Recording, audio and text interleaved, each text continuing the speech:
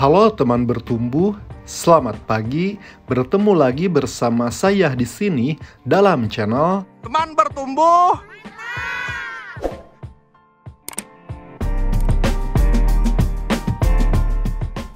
teman. Di dalam video ini, saya akan membahas secara lengkap, detail, dan menyeluruh tentang insektisida terbaru, yaitu insektisida Incipio.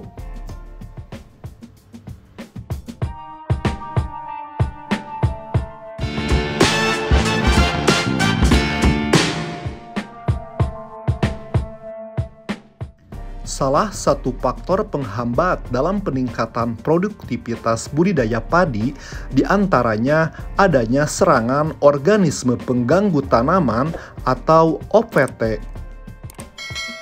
Hama penggerek batang saat ini merupakan hama utama yang paling meresahkan bagi petani karena sering menimbulkan kerusakan berat dan bahkan kehilangan hasil panen yang tinggi untuk mencegah terjadinya serangan penggerek batang di tanaman padi yang kita tanam, kita sebagai petani tentu harus melakukan perawatan sesegera mungkin dengan insektisida.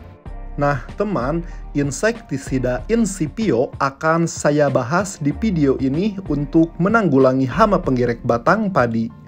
Saya akan membahasnya secara lengkap dari mulai bahan aktif, teknologi, cara aplikasi, dosis, dan konsentrasi, serta keunggulan dari produk ini.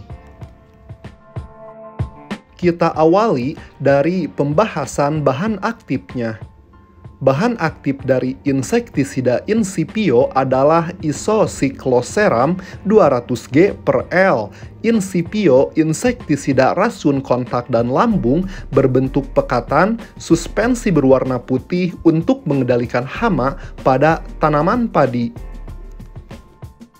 insektisida Incipio memiliki teknologi plinasolin, teknologi terbaru yang terbukti dapat mengendalikan ulat penggerek batang padi dengan lebih baik termasuk mampu memutus resistensi hama sehingga melindungi anakan padi menjadi sehat dan produktif.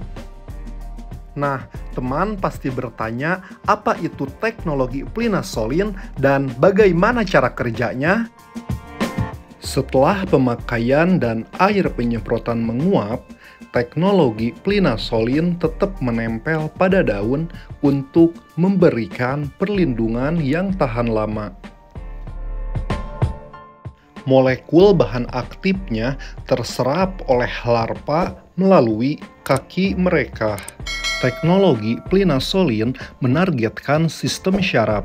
Pada umumnya, otot penggerak batang menerima sinyal yang dikirim melalui syaraf.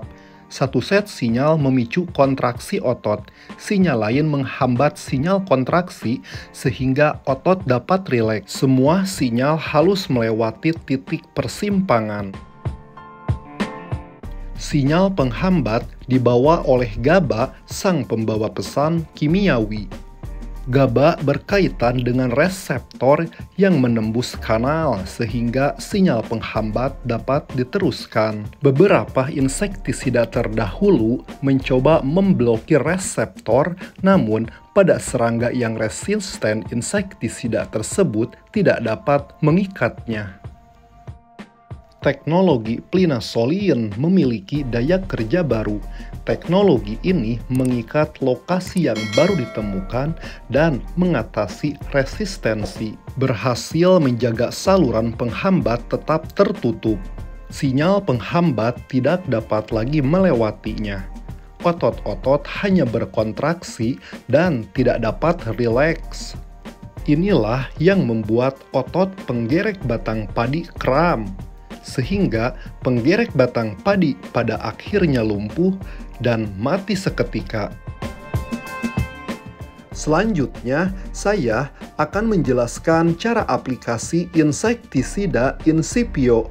Insektisida Incipio dapat diaplikasikan untuk padi dua kali saat padi berada di fase vegetatif yaitu aplikasi pertama saat umur padi 20 HST dan aplikasi kedua yaitu saat umur padi 35 HST atau hari setelah tanam ya teman. Serangan hama penggerek batang padi saat masa vegetatif yaitu larva memotong bagian tengah anakan menyebabkan pucuk layu, mengering, dan akhirnya mati pencegahan hama di usia padi 20 hari setelah tanam sangat tepat karena kalau tidak dicegah sedini mungkin nantinya saat padi masuk ke fase generatif menyebabkan malai keluar putih dan hampa. Selanjutnya, saya akan membahas dosis atau konsentrasi dari insektisida Incipio rekomendasi konsentrasi dosis incipio ini adalah 1,2 mili per 1 liter air. Jadi, jika teman menggunakan tangki berukuran 16 liter air, dosis yang diberikan dari insektisida incipio ini adalah kurang lebih 20 mili per tangki 16 liter air.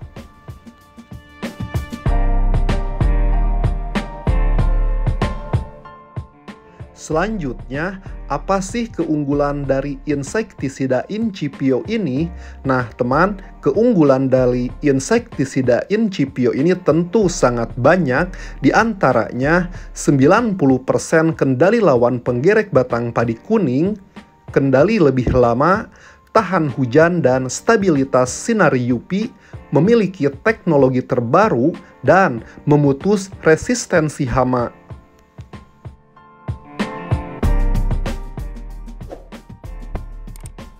Nah, teman, bagaimana apakah sudah cukup jelas penjelasan tentang insektisida incipio yang sudah saya jelaskan? Jika teman ingin bertanya dan mempunyai pertanyaan, silahkan tinggalkan pertanyaan teman bertumbuh di dalam kolom komentar. Saya tidak akan segan untuk segera membalasnya.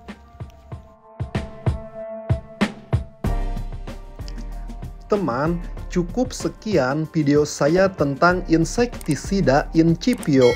Terima kasih telah menyaksikan. Semoga video yang saya tayangkan dapat bermanfaat dan menjadi sumber referensi dalam pemilihan insektisida. Jangan lupa untuk like, komen, share, dan subscribe channel Teman Bertumbuh. Semoga saya selalu bisa memberi info-info terkini seputar dunia pertanian. Terima kasih. Wassalamualaikum warahmatullahi wabarakatuh.